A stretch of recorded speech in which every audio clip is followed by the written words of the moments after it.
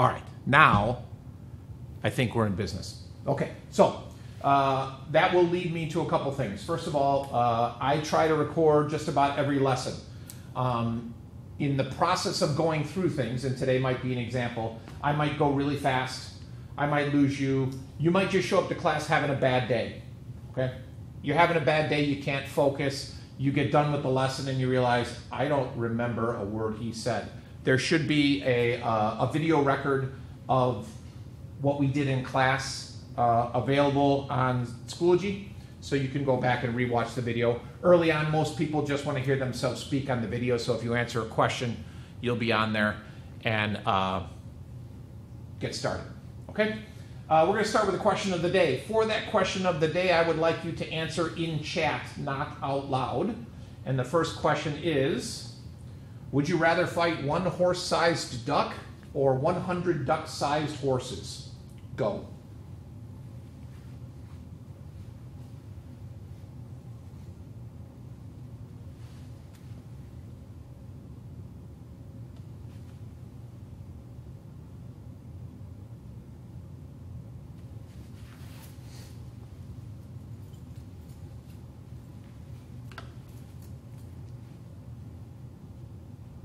Hmm.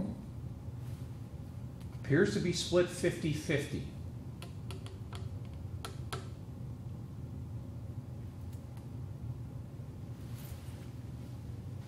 Beautiful. I'm going to talk while you're answering. We're going to do these a lot. Um, we'll do more of them out of Schoology as a discussion post. Now, the reason I'm going to do that is number one, it's a good opener, but number two, it will also give me an opportunity to use that as attendance. So in the future, if I have a question of the day on Schoology, obviously you need to answer it because if you didn't answer it, I'm assuming you weren't in class. Question number two if you could uninvent one thing in the world so that it would no longer exist, what would you choose? COVID is not an answer. That's off the books. Nice try. I beat you to it.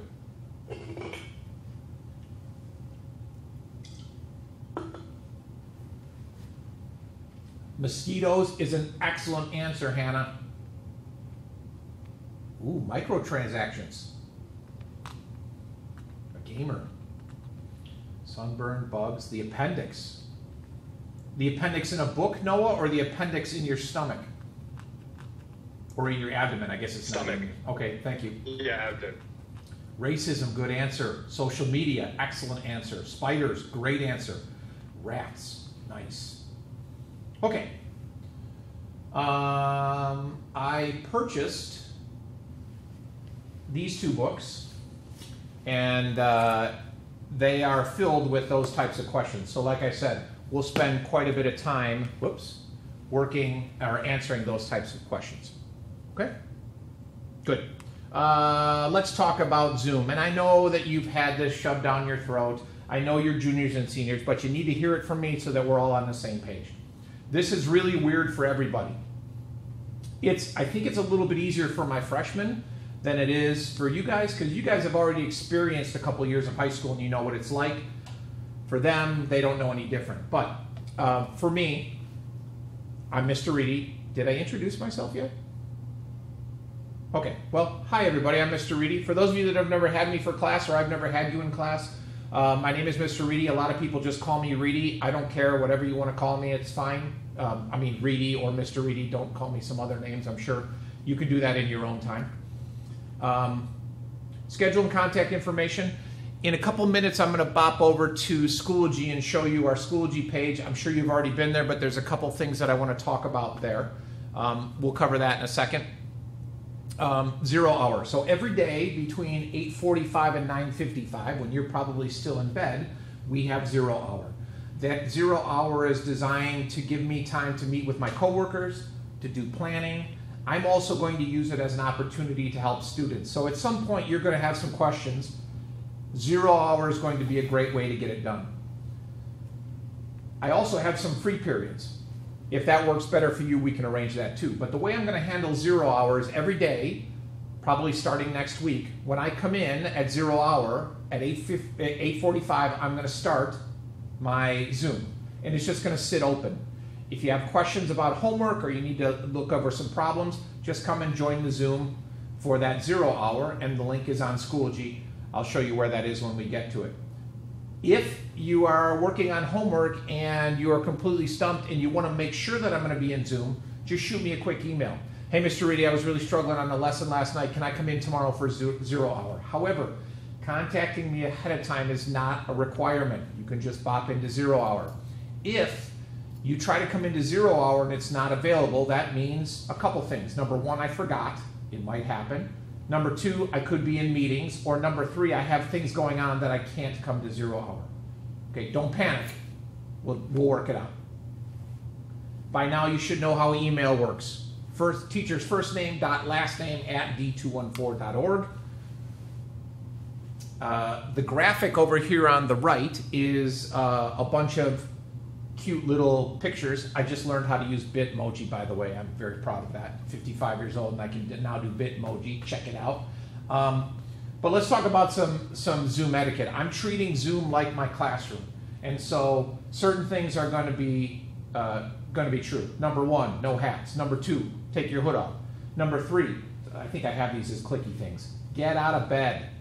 It's one o'clock in the afternoon. You shouldn't still be in bed. You would be amazed, however, in the spring at 1.30 in the afternoon how many people I still had sitting in bed. So what you need to do, if you haven't already done so, is you need to find a spot that you can consider your learning station. And everybody's place is going to be different. Um, mine happens to be my classroom. I come into work every day, I'm working in my classroom, I've got this whole room to myself, 47 TVs, a smartboard, everything else. For you, it might be a desk in your bedroom. It might be the kitchen table. It might be a desk you set up in the garage. On some nice days, it might be the backyard. Like today would be a great day to be outside if your Wi Fi reaches there. But it's got to be something where you can get work done. And I understand some of you may have 47 brothers and sisters that are all trying to remote learn. Some of you might be an only child in a 12 bedroom mansion. You got to find some place to work, and it's not your bed. Okay? Questions about that? Beautiful. Be on time. We all have lunch before this. There's no excuse for being late. I will try to open the Zoom early, like 10 minutes early. I probably won't admit people until one or two minutes before the period starts.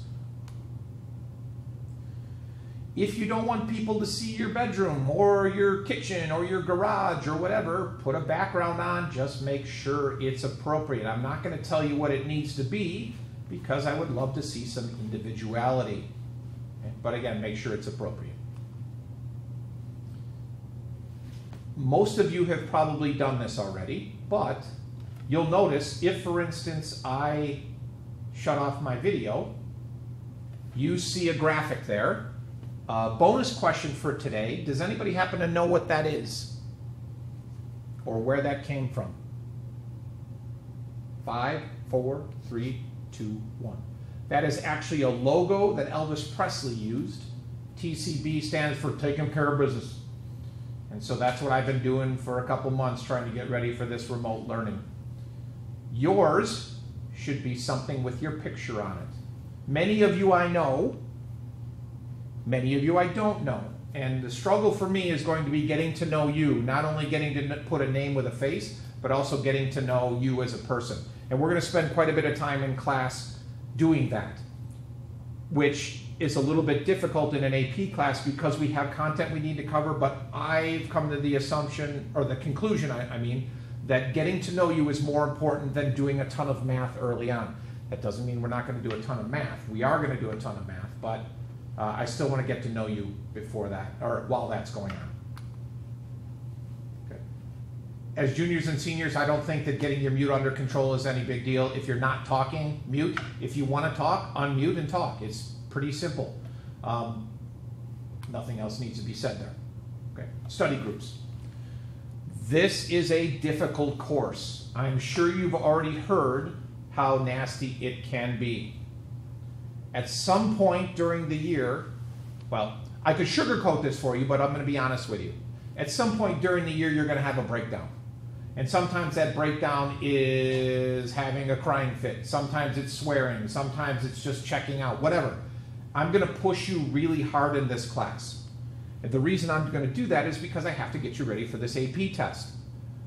If I go easy on you, then you don't do well on the AP test. If I push you really hard, you do well on the AP test. Now, to compensate for how rough this is going to get, I've managed to change the grading scale. So the grading scale for this class is 80, 70, 60, 50. Uh, for the parent Zoom that I had last week, I let your parents know that. If they weren't in the parent Zoom, or if they forgot, you might want to remind them that of that, because if you're rocking an 82 in this class, you've got a really good A going, not a B. Now, this is the hardest part. I'm going to ask you to do something that you're not going to be able to do, but I'm going to ask you anyways, and that is forget about your prospect grade. The only thing that matters between now and May is that AP test. I control your prospect grade. And when we get started early on, your prospect grade might not be where it is, and you start to freak out about it. It doesn't matter. I make the ultimate decision about what grade you get in this class. What I can't control is the AP test. Okay? But again, you can't do that. But I'm telling you, you need to. I have a system in place that's going to help you learn calculus. If you buy into the system, everything will work out. And everything means your prospect grade and your AP score. If you don't buy into the system, you're going to struggle. So, buy into the system. I had a lot of people that were rocking calc like a monster last year, and then the quarantine hit, and they quit, and they paid for it. We're not going to let that happen. All right, let me stop for a second and see, does anybody have any questions? If so, speak now or forever hold your peace. Again, if you have a question, I can only see a couple of you right now, so unmute and ask your question. Oh, I never answered the thing about study groups. Hmm. In the process of getting beat up in this class, you're going to need somebody to rely on or some people to rely on. I have found that people have the most success when they form some type of study group. Now, that could be somebody that you work closely with on a daily basis. That could be a group of four people that get together and work on calculus. I had a group two years ago, I think, that they got together every Sunday night to, be, to do calculus. And when they got together on Sunday night, they set a timer, and for the first 10 minutes, all they did is bitch about the class. I got no problem with that. That's cathartic. It gets it out of your system. If you want to do that, do that. Great. Whatever it takes to help keep you centered and on task and buying into the system. If you try to go about this alone, people succeed, but I'm telling you, it's going to be a lot easier if you have people to rely on. Okay? Does that make sense? All right, good. And that'll come with time. As you get to know more people in the class and you start to realize who in the class you can work with and who in the class you can't work with. Because sometimes friends don't make the best uh, work partners. Okay? They can't stay focused or whatever. So you, you might not want to work with a friend. You might want to work with a complete stranger who you think you might click with. And we'll cover that um, in the future. Okay? Let's talk about Schoology.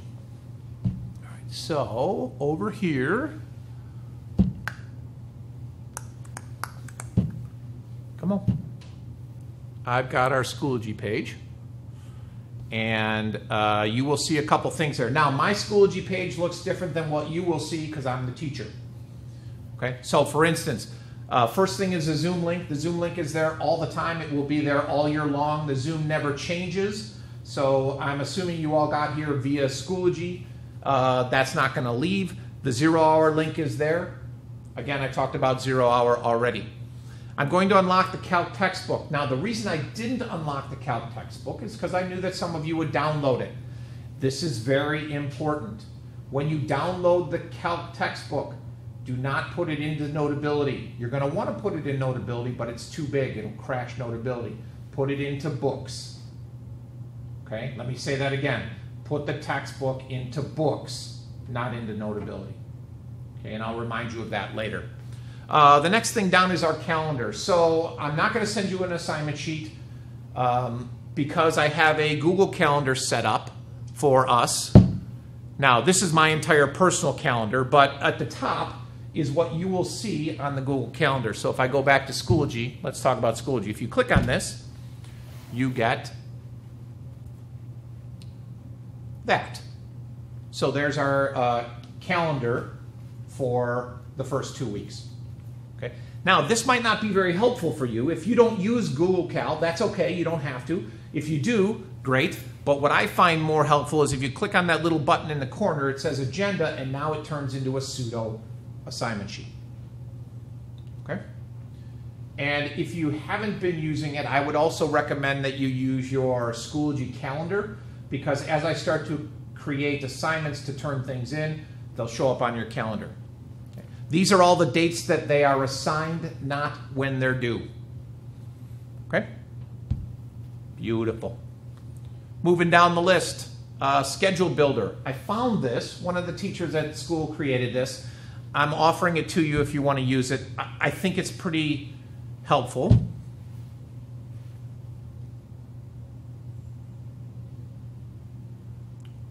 It's one document that you can put all your classes information on. So I'm sure you're probably using Schoology to get Zoom links and everything else. But if you want to organize yourself a little bit, um, I gave you this. You can use it. You don't have to use it. It's purely up to you. But it's pretty straightforward. I did the the example for our class, and I also filled in seventh period for you already. Okay, what class is it? Who's the teacher? Teacher's information. So you'll see my email address, the periods I'm free, the link to the zero hour, and then over on the right is the Zoom link for the class every day. Okay. So again, if you want to use it, you're more than welcome to. If you don't, that's okay too. Uh, and then the other stuff we'll get to is in chapter zero, which we will cover later on. You're actually going to need this today, so let me publish that.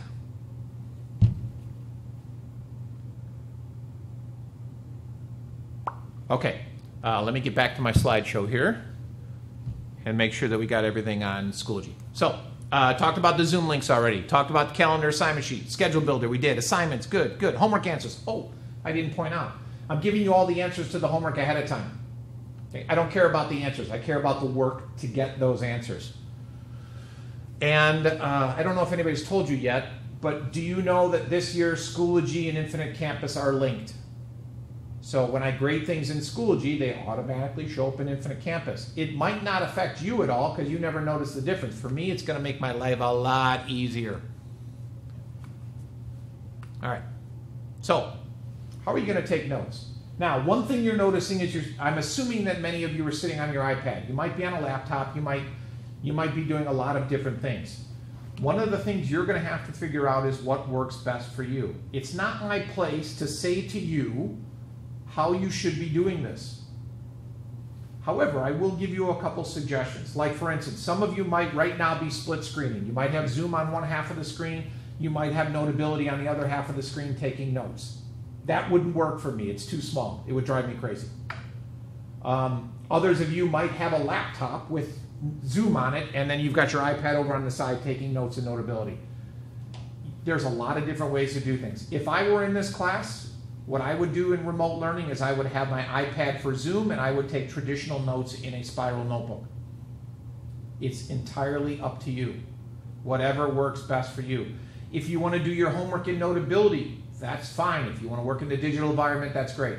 If you want to do traditional paper and pencil, that's okay. You can still turn it in. You'll just take a picture of it and send me pictures.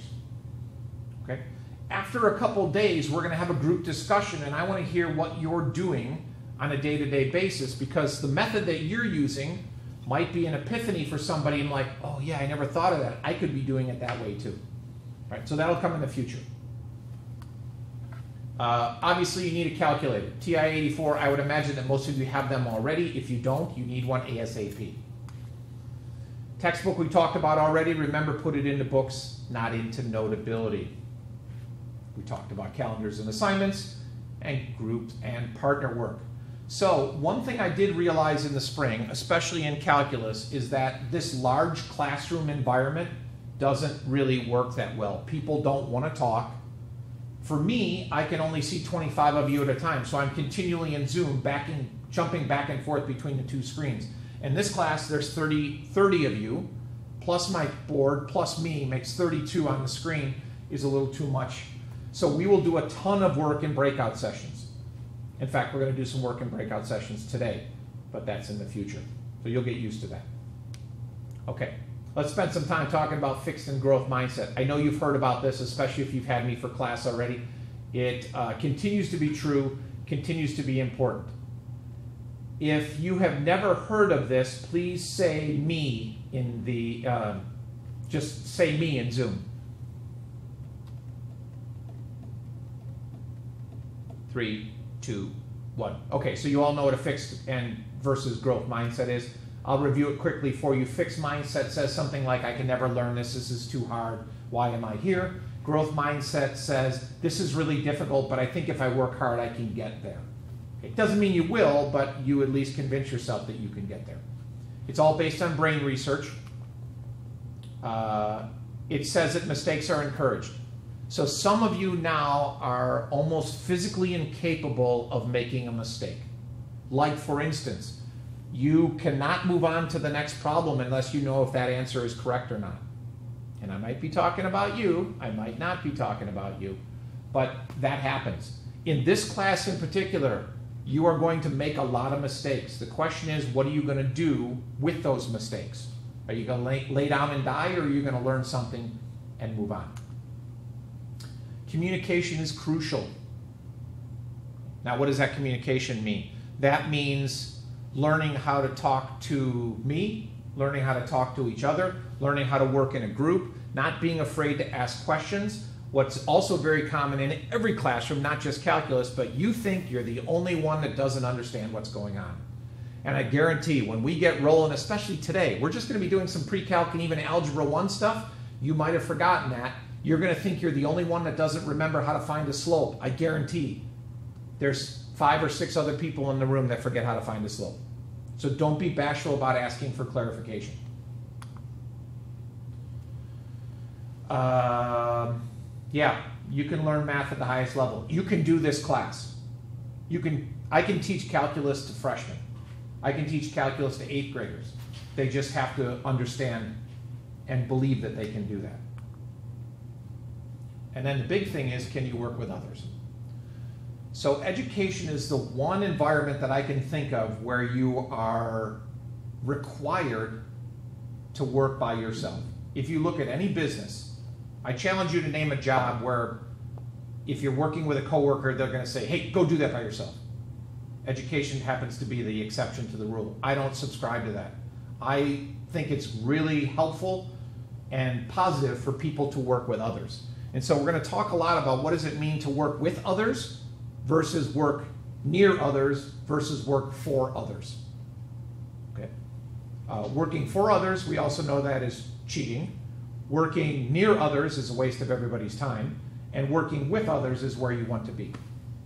And some of you, when I put you in breakout sessions in a little while, you're going to jump right into that and not have a problem. And in those breakout sessions, it'll be interesting to see or something to think about while you're in that breakout session. I'm in a breakout session or breakout room. Am I working with others? Am I working near others? Or am I working for someone? Is somebody just copying my work? That's a little hard in a breakout room unless you want to allow them to do that. But We'll get there. Okay. Um, first part of your homework tonight. I'll unlock this later. It'll be on Schoology for you to download. But I'd like you to create an autobiography. And so you'll see a PDF that you're going to drop into Notability. Um, the first page of the Notability is this grid, which for some reason my grid didn't show up. But you're going to answer a bunch of questions and you're going to post a picture of yourself in there please make sure it's a picture of you. I don't want a picture of Michael Jordan or your dog. Picture of you. Now, if it, it's you with your family, you with your brother or sister, I have no problem with that. But somewhere in that picture, there's got to be a picture of you, and then you answer those questions. This will allow me to get to know you. I've done mine already. I'll share my autobiography with you. And then we're going to share those with everybody so that, again, we get to know each other so that it's not so weird when you end up with a group with somebody that you've never met before. You might remember, oh, yeah, that person thinks that in 25 years they're going to be running Amazon. Okay. I laugh at that, but you know, who knows? Okay. Any questions so far? We're good? Okay, we're going to take a two minute break. In that two minutes, I want you to go to Schoology and download the document called Breakout Examples in the Chapter Zero folder. Get that into Notability because we'll need it in a couple minutes Go.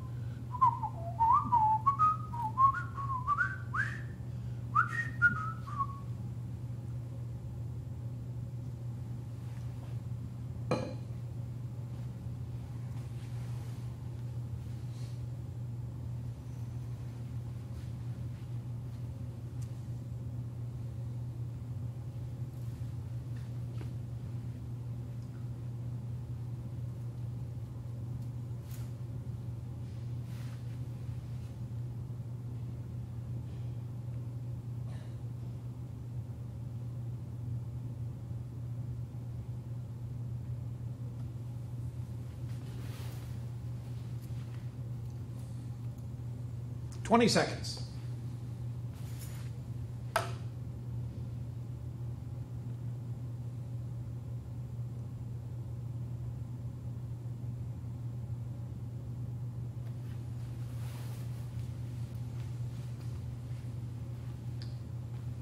And time. Let's move on. Okay, still, any questions you thought of? Anybody have trouble doing that? I'm assuming you're all good to go and getting a document out of Schoology into Notability. If not, we're gonna have to spend some time going over that. We're not really. You should know how to do that. Okay. Uh, I'm gonna wait till everybody's video's back so we can see. Gavin, Mitchell, Haley.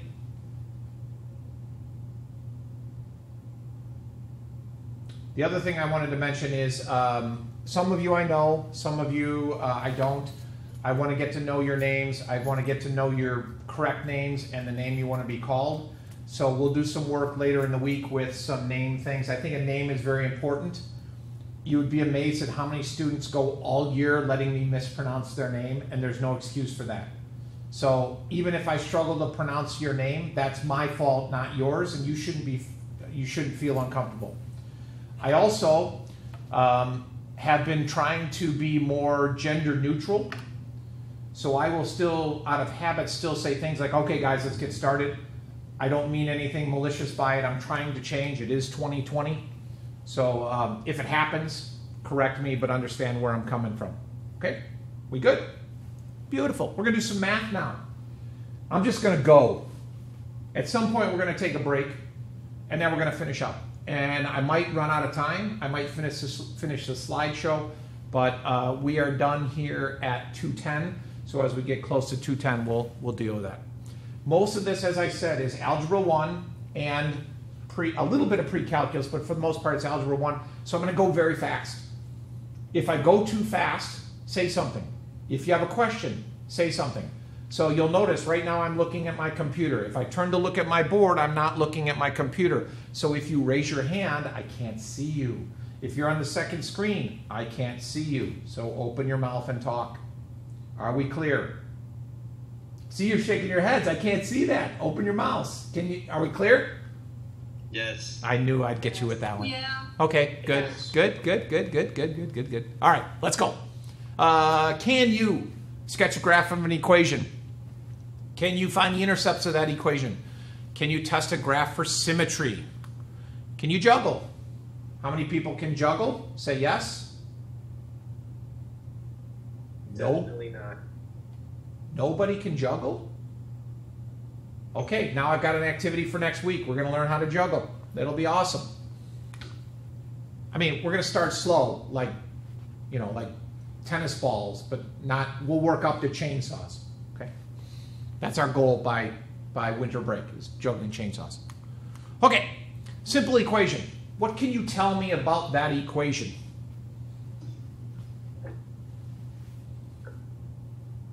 Isn't it in standard form? Ooh, very nice. Standard form. The most hated of all forms. What else?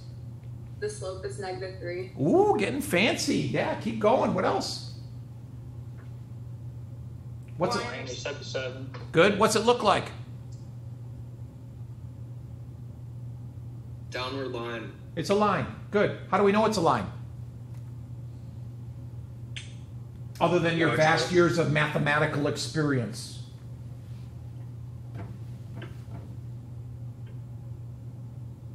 Nobody? Going once, going twice? All the Uh, opponents aren't Third. Jacob. well, Jacob. Lose your hood. Lose your hood. Atta boy. Now tilt your camera down so I can see your bright shining face. Nice. There we go. Okay, so that's a line. It's in a weird form. Nobody cares about it. Is the point two one on that line? Yes. Why? Or how do you know? If you plug them in, it equals seven. Awesome. Two times uh, two times three is six. Plus one is seven. Outstanding. Jacob, last time, lose the hood all the way down. Good. Thank you. Um, somebody give me a point that's not on the line. This should be easy. three, four. Three, four.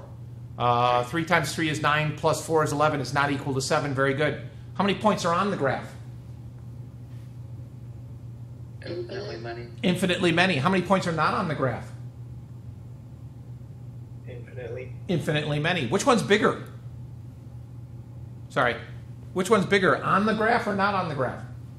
No. Not? Huh?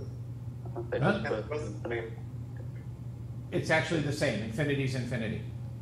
Okay, we'll get to that later. Uh, and I'm assuming you could all graph this equation. It's a line. Okay, how would you graph it? Go to the y-intercept at seven and then go down three over one. Love it. What else?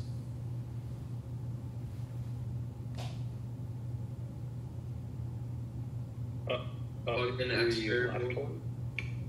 Go again. Plug in X variables and see what the Y comes out as. Good. Anything else?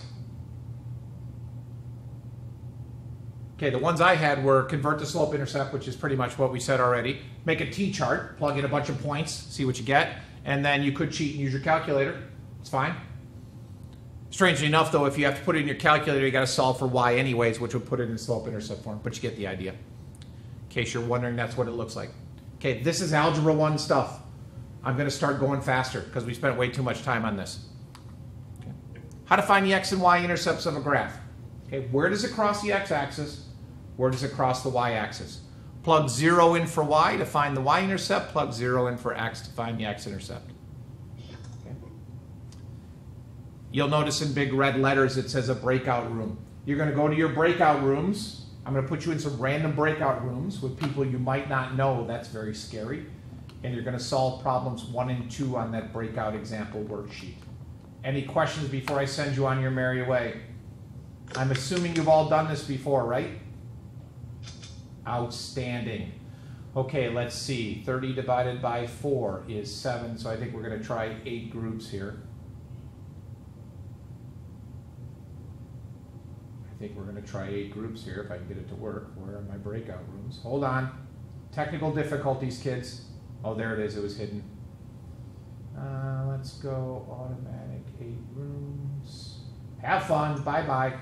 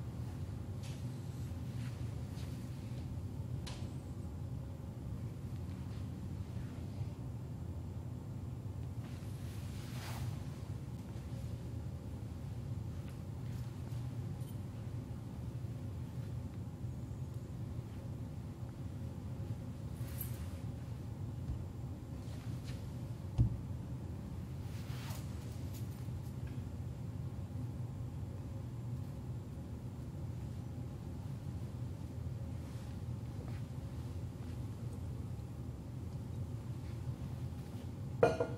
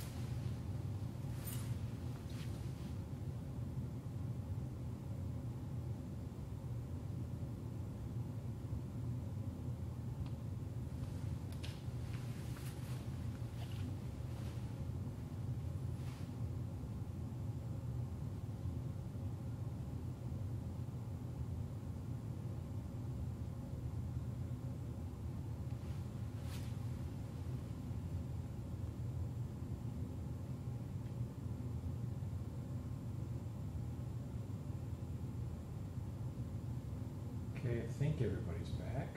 Let's see.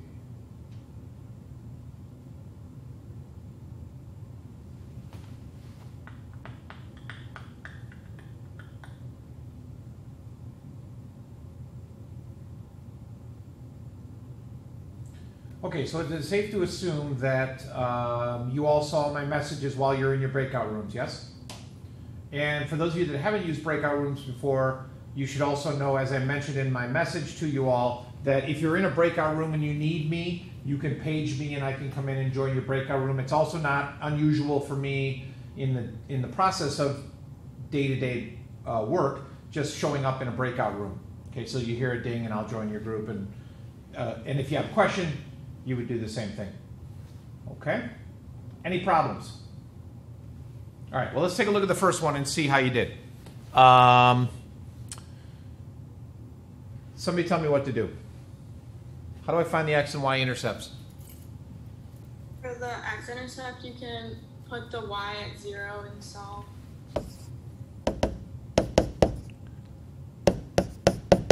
Okay, tell me how to solve that. Um, you can take the greatest common factor of x out, and then it's the difference of squares, so it's x plus 2 well done. Now, notice we didn't divide by x. Okay, so one rule that is always true is never ever divide by a variable unless you're 100% sure that it can't be zero. And in this case, it can be zero because x turns out to be 0, negative 2, and 2. Okay? There is another way to solve this, but I'm going to skip that for when we come down to problem number 2. All right, so before we start diving into problem number 2, what can you tell me about that equation? It's an equation of a circle. Good. Where's the center? Three, four, Good. What's the radius? two. Two. Perfect. So I can dive into this mathematically and start solving it. However, if we think a little bit about this, I have a circle with a center at 3, 4 and the radius of 2. Does that tell you anything? It won't reach the intercepts. Beautiful. So right away, I know just from doing a little bit of thinking, saving myself some hassles, I get that it has no intercepts. However, let's suppose you didn't realize that, and I need to solve this. Let's start by plugging 0 in for x. If I plug 0 in for x, I get negative 3 quantity uh, squared plus y minus 4 squared equals 4. Uh, that's 9. That's y minus 4 quantity squared equals negative 5. Now, from this point on, you could multiply that out and get a, a quadratic, and then move the 5 to the other side and solve the quadratic. However, I would take the square root of both sides. Whoops. Get that out of there. Square root of that. What's wrong with that? Can't take a square root of a negative. Right. So now all of a sudden we've nullified the problem, which indicates exactly what we already knew that there is no intercept. And the same thing would happen if you plug 0 in for y. That's also. ever, Go ahead. sorry, should we ever solve that out to? I? No. That's a great thing about this course. We're done with that I business. We only deal with real numbers in this class. So, two rules that uh, the second rule that will always apply: no negative square roots. Okay, I don't want any square root of five i garbage. It makes my head hurt. Okay, we don't have to worry about it. That's a. When did you do that? Advanced algebra. Awkward think so. pause. Okay, who cares? All right. Any questions on these two problems? Pretty straightforward? Good. The reason I included this problem is uh, the second problem is because it gives you an indication of sneaky ways to solve problems. And one of the things that the College Board really likes in calc is they like to throw different opportunities at you with different possible ways to solve the problems. Okay? So there's nothing wrong with taking that problem and grinding out the whole problem and finding out that there's no answers. However, you can also solve it by um, by being a little sneaky and realizing that the circle won't hit any of the axes. Okay. We did that one already. We solved the problems. Great. Everybody's happy. There's all the work in case you want to see it. It matches the answers we had. Fantastic. It's a cubic. And so if you're a, if you're a visual learner and you like pictures, there's a picture of what it looks like. Um, zero zero solves as, serves as both an x-intercept and a y-intercept, and then we got our other answers. Circle, like we said, we already know the solutions to that. Okay, symmetry. First of all, uh, y-axis symmetry.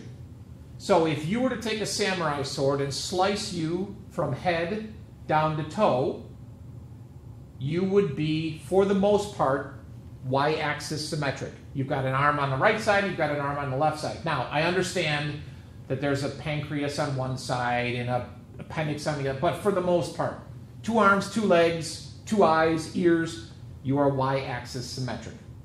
Okay? From a graphing standpoint, it's the same thing. Can you fold that graph over the y-axis and get the same thing? Now, there's a couple different ways to approach this. One way is to look at the picture. If I showed you this picture, you should be able to tell, yeah, that's y-axis symmetric. It's the same on the right as it is on the left. The other thing, and what one thing that they like, they being the College Board likes a lot, is for you to test that algebraically.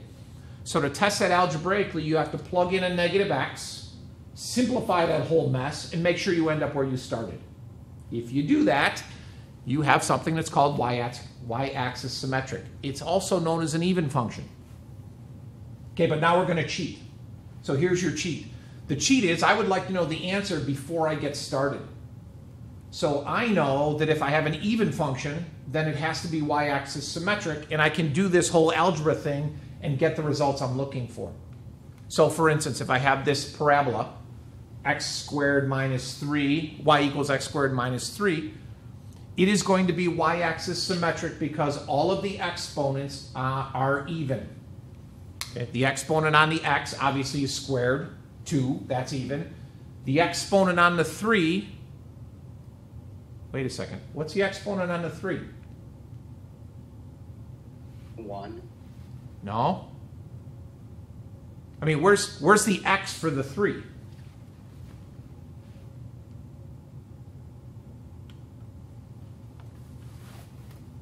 There is no.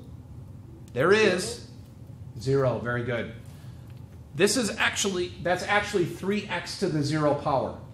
But who's going to write that over and over again?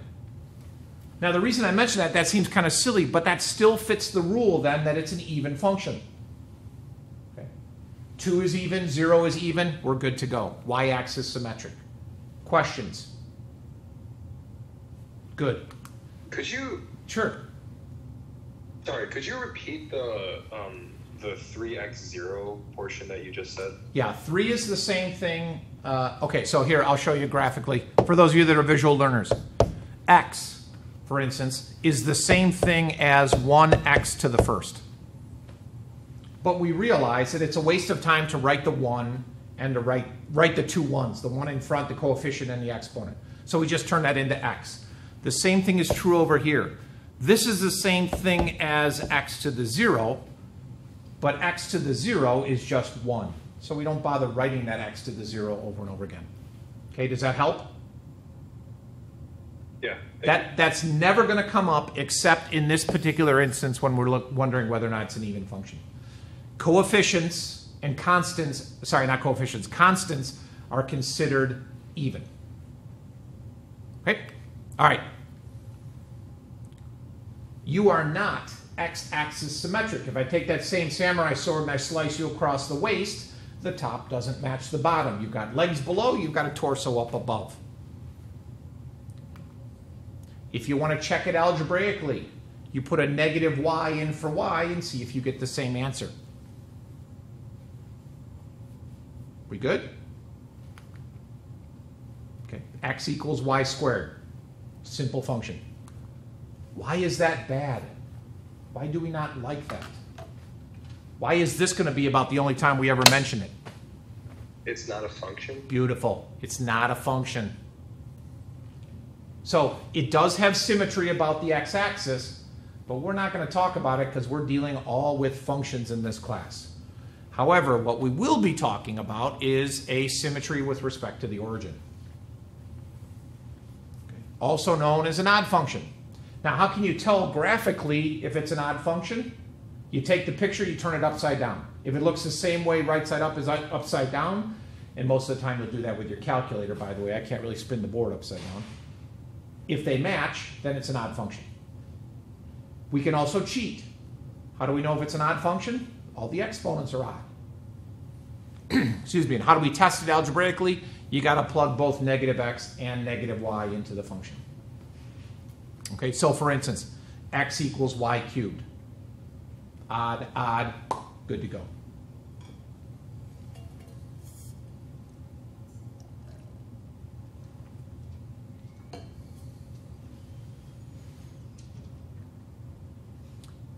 Uh, one quick thing before I forget, let me go back to this guy.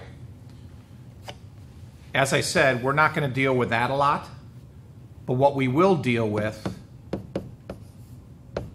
is that. How do those two things differ?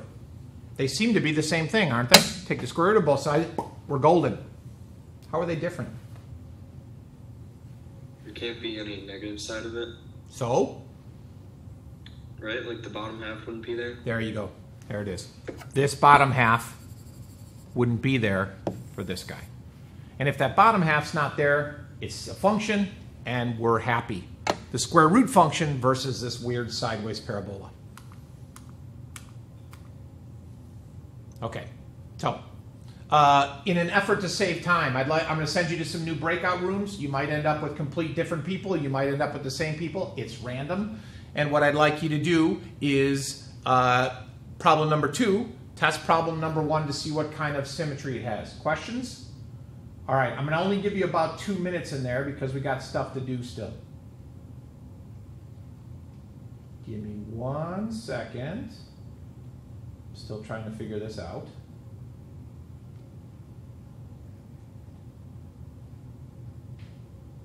All right, go. Two minutes. Knock yourselves out.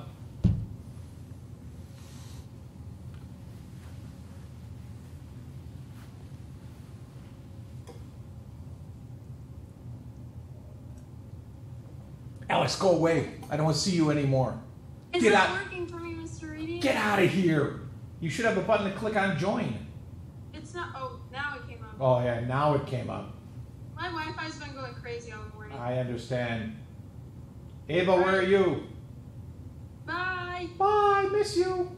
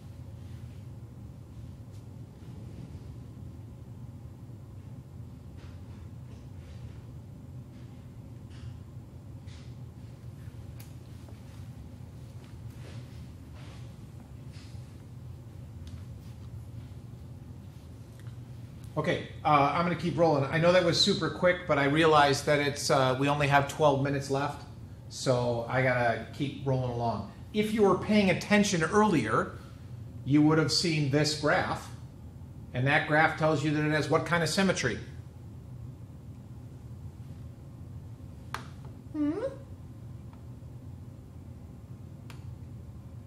Isn't it symmetrical to the origin? Correct. It's origin axis symmetric. Okay, Which means to test that, you would put in negative y, put in negative x, and simplify. So if I simplify that, I get negative x cubed plus 4x. Solve for y by multiplying everything by negative 1. I get this. This matches this, so therefore it has origin symmetry, and life is grand. Okay, beautiful. Moving on. Where were we? Uh, symmetry, we talked about. I gotta go there. I gotta do that. An example. Okay, points of intersection. Is it safe to assume that you could find the points of intersection between a parabola and a line? Yes. How many could you find? Two. Or At most two, one or zero. one, zero, or two? Could you find three? No. You sure? Yes. Okay, just checking. How about if I change that parabola to a cubic? How many could you get? Three. Up to three. Oh no, you can get more than that. Things get crazy. Things get crazy a little bit. But anyways, um, we're not going to spend a lot of time doing this because you did this ad nauseum in other classes. But how are you going to do it? Well, you could set them both equal to y and solve. You could solve one of them for x or y and plug it into the other.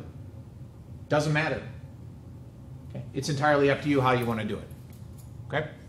Is it okay for me to skip this? All right, I got a couple thumbs up, so I'm moving on. Mother functions. The basic functions you should know. Linear. If you don't, drop the class. Quadratic. Cubics. Absolute value. That's the V looking thing. Semicircles. This you might not know. Have you worked with semicircles before?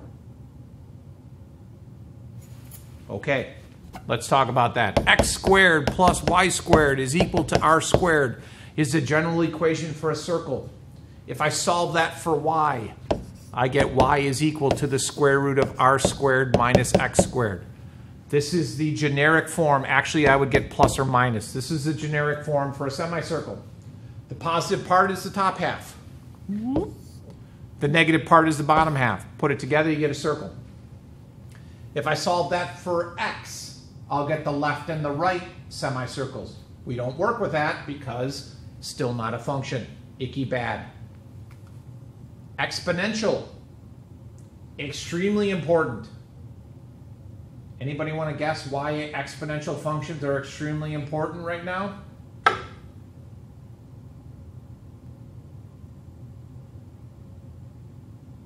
Ooh, the spread of disease usually follows an exponential growth. You get COVID, you give COVID to two friends, they give it to two friends, etc. It's also how The Walking Dead happened. One zombie bites two people, those two zombies bite two people. Next thing you know, we've got a hit show on AMC. Square root function we talked about already, that top half of that sideways parabola. There are others, which we will get to. For instance, I'm pretty sure you've never seen that before. But that's one we'll deal with a lot. I don't know if you've done this guy before. Greatest integer function? Okay, we'll cover those. What we're going to do with the mother function is obviously be able to, to graph and work with a basic function, but we also want to be able to shift those mother functions around. And we'll talk a little bit more about that. And those are called translations. So if I want to take the x squared function and move it down, if I want to take the x squared function move it to the left or to the right, uh, you've done that a bit. We'll review that in the future. Okay. Very quickly, slope. If you can't find slope, again, drop the class. Um, equations of lines.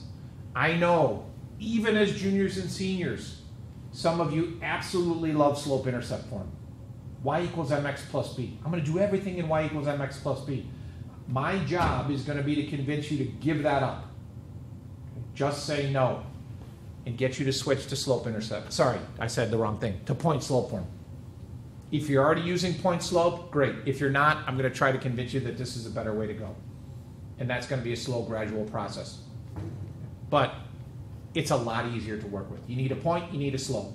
Oh, wait, you really like slope intercept form? Well, then put it in point slope and convert it. Very seldomly, if ever, is somebody going to say to you, give the answer of the equation of a line in this form. I don't care what form it's in. If you just won't give it up and you want to stay with slope intercept form, then stay with slope intercept form. I can work with either. Actually, if you want to work with general form, you can too. It's just really weird and we'd make fun of you.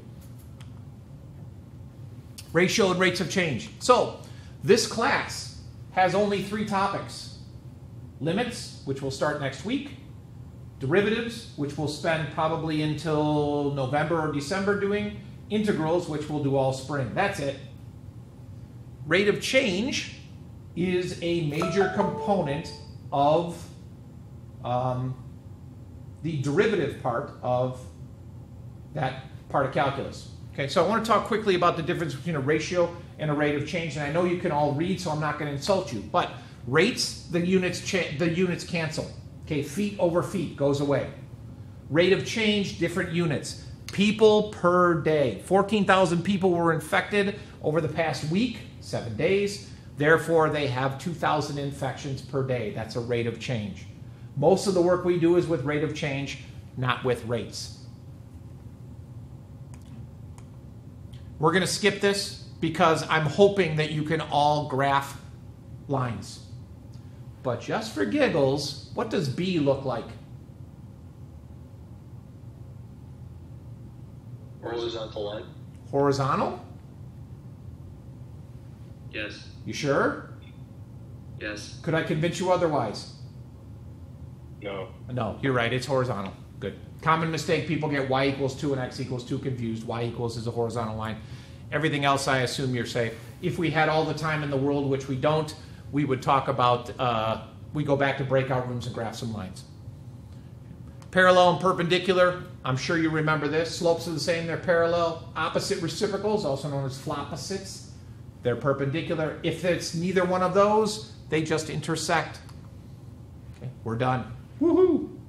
Now, one of the things uh, you neglected to remind me to talk about was phones. I realize that you're at home in your bedroom or on your kitchen table or in your garage or wherever you are. I cannot control what you do with your phone. However, if you're going to learn at the best possible scenario, you need to put your phone away. Okay, my phone is across the room, face down. I have no idea how many text messages I got. Probably a lot because I'm pretty cool. But you don't need to be posting to TikTok in calculus. Nobody wants to see a calculus Zoom TikTok. And nobody cares how many Instagram followers you have. Put your phone away for at least 70 minutes a day. Now, some of you are going to ignore me, and we start to get an idea of what's going on. Like if you're always looking down at your lap, something weird is going on. If you just randomly burst into laughter, something weird is going on. But again, I can't police that. I'm just telling you that if you want to do well, you're going to have to put that phone away. Okay? Beautiful. Questions so far? We got two more minutes. Um, in those two minutes, let me tell you what you got for today's Tuesday, for Thursday. So for Thursday, I would like you to change your Zoom picture into something with your face on it so I don't see capital letters all the time. Number two, if you haven't already done so, change your Schoology picture. By the way, that Schoology picture, if you've never changed it, you cannot do it in the app. You have to go to a browser. So go to Safari or some browser, log into Schoology, change it that way. Same thing, face. After a while, after I learn everybody's name and you want to change it to something different, I don't care. Number two is that autobiography that I will post on Schoology soon. Okay? Number three, day one homework, which is on the calendar. Okay, that will cover this algebra stuff that we just talked about.